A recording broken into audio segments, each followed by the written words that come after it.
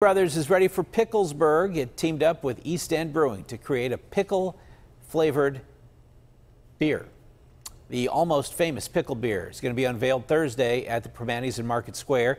To make it, East End Brewers combined 630 pounds of fresh cucumbers with coriander, salt, and fresh dill.